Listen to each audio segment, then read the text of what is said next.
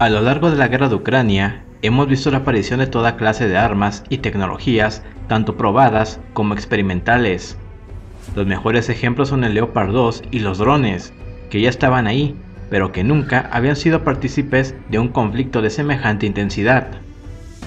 Otras han sido novedosas, como los misiles Kinsal y su capacidad hipersónica, que ha dado un nuevo enfoque a los misiles, siendo su primer uso masivo en una guerra de alta intensidad. Pero algunas han tenido mayor incidencia que otras, simbolizando un enorme problema y por sobre todo, horror. En esta ocasión, analizaremos 5 armas que, a nuestra consideración, su valor en el conflicto no solo ha sido importante, sino que se han convertido en símbolos de terror dadas sus brutales capacidades. Número 5. Bombas incendiarias.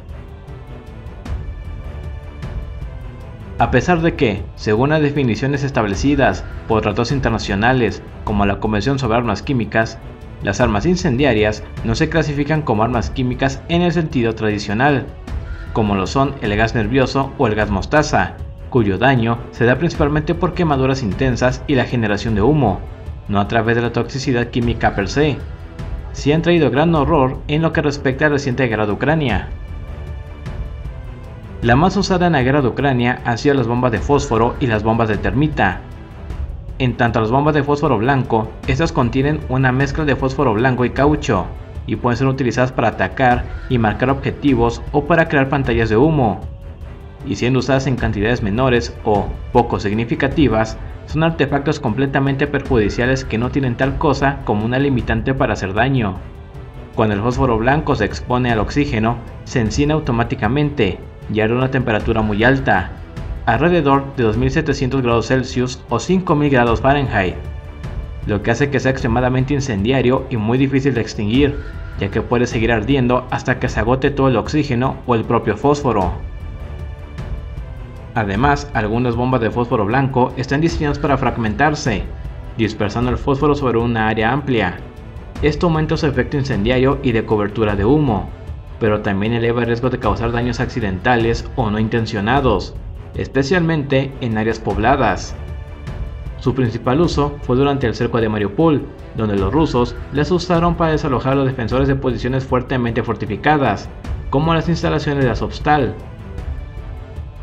Ahora, en tanto la termita, esta consiste en una mezcla de polvo de aluminio y óxido de hierro.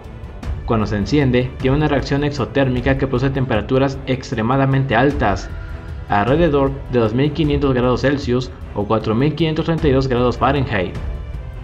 Esta reacción libera una gran cantidad de energía en forma de calor que puede fundir metales y destruir estructuras con un alto punto de fusión. Por esta razón, las bombas de termita se han utilizado para destruir instalaciones militares, equipamiento y maquinaria pesada. Son especialmente efectivas para penetrar y destruir tanques, armamento pesado y estructuras de acero. Sin embargo, debido a su pequeño radio de acción, es raramente usada en sí misma como un compuesto incendiario, y por lo tal no están diseñadas para causar una amplia destrucción a gran escala, sino para objetivos específicos y bien definidos. Por esta razón, se vio un gran número de estas municiones en la batalla de Bakhmut, donde se enfrentaron fuerzas fuertemente mecanizadas en una fiera lucha urbana, aún peor que Mariupol. En el caso de ambas bombas, los vapores pueden ser tóxicos si se inhalan, causando daños a los pulmones y otras complicaciones respiratorias.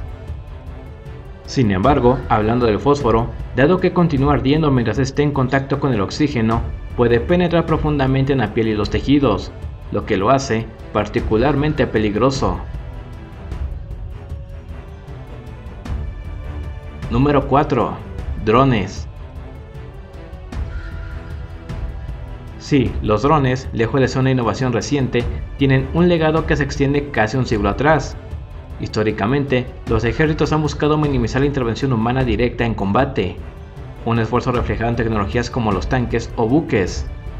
Ejemplos tempranos de esta búsqueda son los teletanks soviéticos de los años 30 y el Interstate TDR estadounidense de los 40.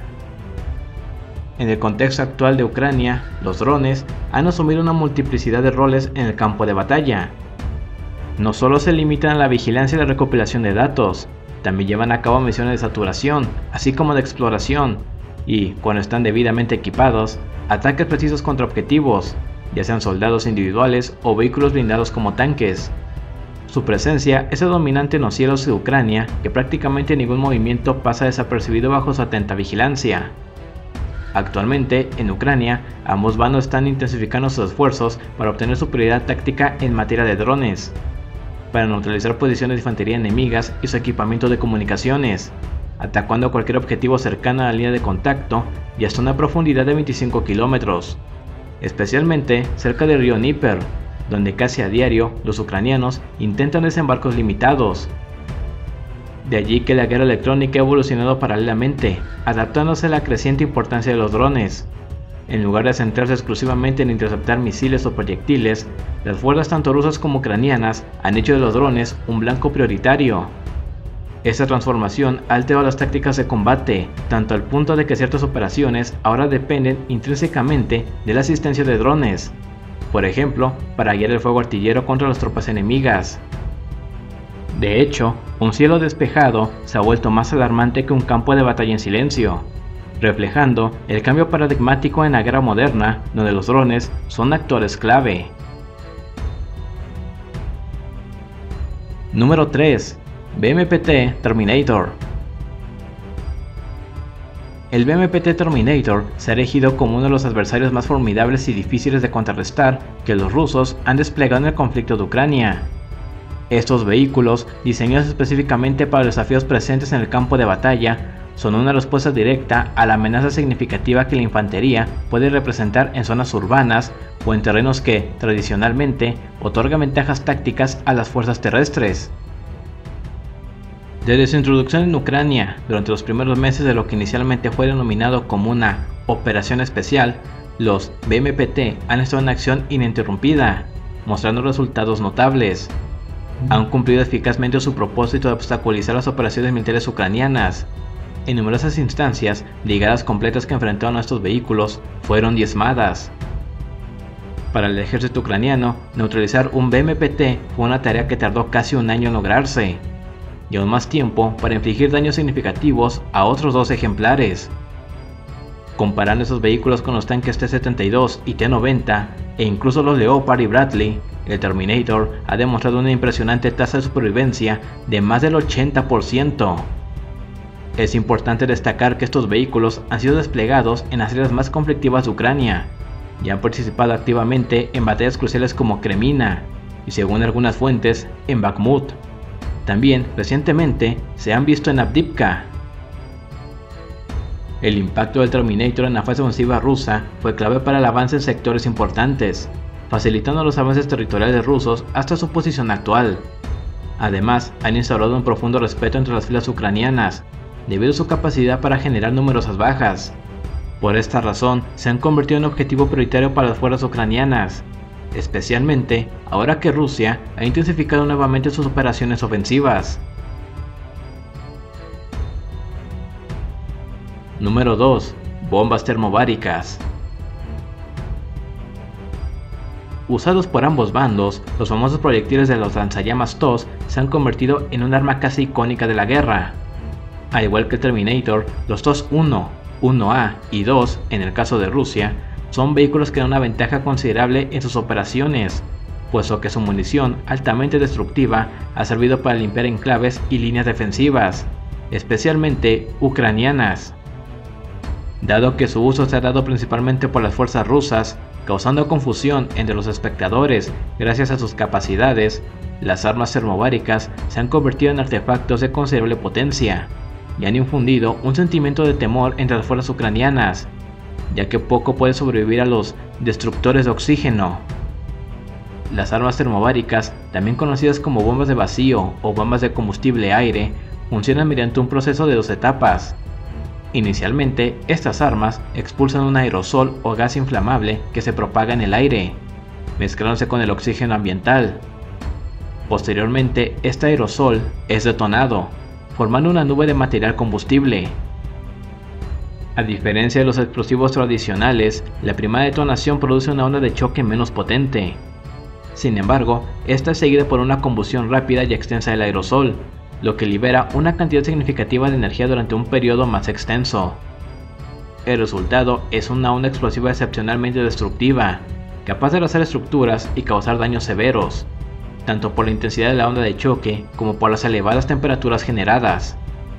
Usados para el desmantelamiento de fortificaciones y limpieza de campos, las armas termobáricas dejan un rastro de destrucción donde impactan. Si bien su uso no ha sido tan extendido y los propios TOS han tenido muchas dificultades en Ucrania, su incidencia ha sido considerable en el conflicto, puesto que junto a los Terminator fueron parte de esas operaciones ofensivas que llevaron a Rusia a tomar el control de enclaves que hoy Ucrania quiere recuperar a toda costa. Además de que el miedo y pánico que han generado tanto en quienes lo viven como los que solo lo observan, no ha podido ser igualado por otras armas comunes, a excepción de una. Número 1. Proyectiles de 155 y 152 milímetros. Durante más de un siglo, la artillería ha sido conocida como el dios de la guerra, destacando en todos los conflictos en los que ha participado. Con un arsenal que va desde proyectiles simples hasta drones inteligentes y cohetes, la artillería ocupa el primer lugar debido a su impacto significativo, importancia estratégica y el terror psicológico que infunde incluso cuando no está presente físicamente. La guerra en Ucrania ha demostrado que los misiles guiados por GPS y los proyectiles inteligentes no son suficientes. Se necesitan grandes cantidades de piezas de artillería, como los proyectiles 155 y 152 milímetros, para cubrir todo tipo de operaciones en un frente tan extenso como el que mantienen ambas fuerzas.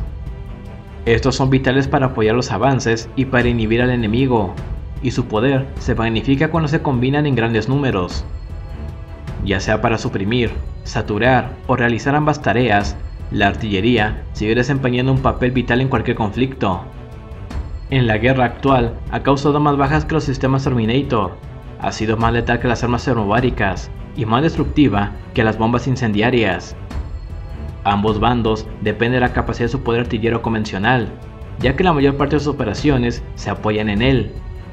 A pesar de que los drones han emergido como un componente clave en la guerra moderna, no han logrado desplazar a la artillería, que se mantiene como un pilar esencial del arte de la guerra. Para que nos llevemos una idea, Basados en las estimaciones recientes, el uso de artillería en el conflicto entre Ucrania y Rusia ha sido considerable. Ucrania está disparando entre 6.000 y 8.000 proyectiles de artillería de 155 mm diariamente. Esto se traduce en un promedio mensual de entre 180.000 a 240.000 proyectiles, y en términos anuales significa que Ucrania podría haber disparado entre 2.16 y 2.88 millones de proyectiles en un año. Por otro lado, Rusia ha estado disparando alrededor de 40.000 proyectiles de artillería de 152 milímetros, homólogo de 155, cada día. Esto suma aproximadamente 1.2 millones de proyectiles por mes. En el transcurso de un año, esto equivale a unos 14.4 millones de proyectiles. Por esta razón, el Pentágono tiene planes para triplicar la producción de proyectiles de artillería de 155 milímetros. Estados Unidos ha duplicado aproximadamente su producción mensual de estos proyectiles a 28.000 y tiene como objetivo producir entre 80.000 y 100.000 proyectiles por mes para finales de 2025. Sin embargo, estos siguen siendo insuficientes para igualar el poder artillero ruso y ucraniano.